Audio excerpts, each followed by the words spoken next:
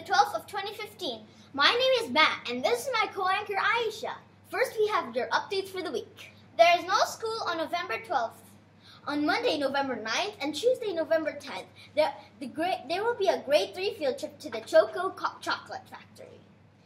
And on Tuesday, November 10th, KG2 has a field trip to Kidzania.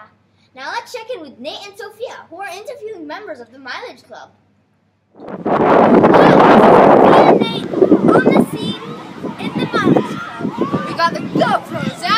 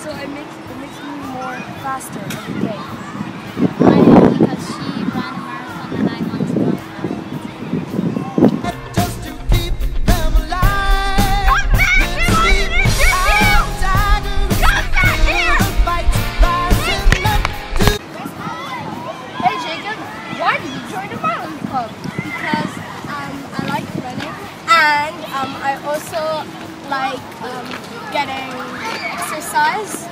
What motivates you to keep uh, to keep running at the Mileage Club? The straws, because when you get a straw, you feel like um, you, you like got awarded. You're proud.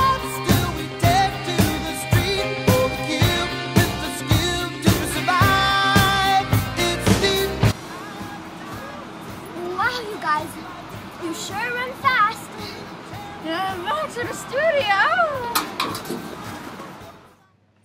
Thank you, Nate and Sophia, for that great insight from the Mileage Club members. Way to go, Miss B, for bringing such a fun program to UAS. Now let's wish a congratulations to this week's classroom shoutout.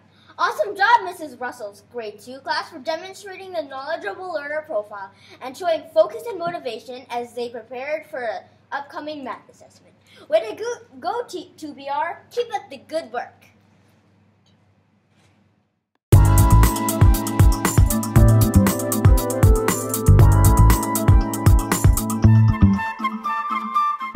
Up next, we'd like to introduce Mariah, who's interviewing Saul for the book of the week. Hi, Mariah here, and I'm interviewing Saul for the book of the week. However, Saul isn't sharing a book. He's actually sharing a comic that he wrote.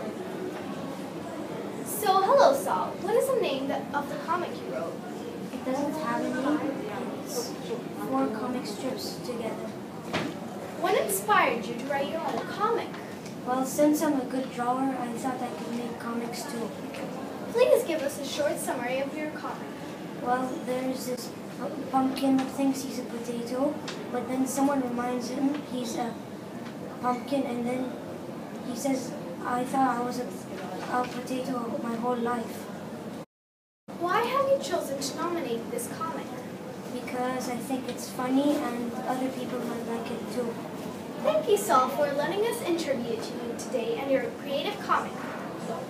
Now, back to the studio! I'm Aisha. And I'm Matt. And this is the Scorpion Weekly News.